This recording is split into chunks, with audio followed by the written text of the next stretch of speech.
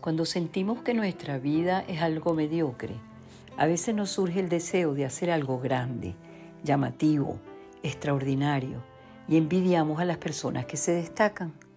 Pero como no nos sentimos capaces de cambiar completamente de vida o de dar grandes pasos, entonces optamos por quedarnos cómodos en nuestra mediocridad.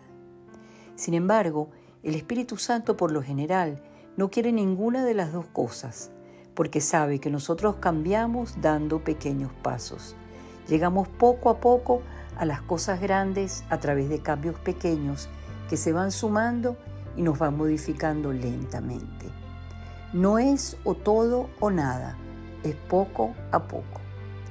Los seres humanos tenemos la tendencia permanente a clausurarnos en lo que ya hemos conseguido y a quedarnos cómodos en la normalidad que vivimos. Por eso mismo, un pequeño paso siempre es en realidad algo inmenso.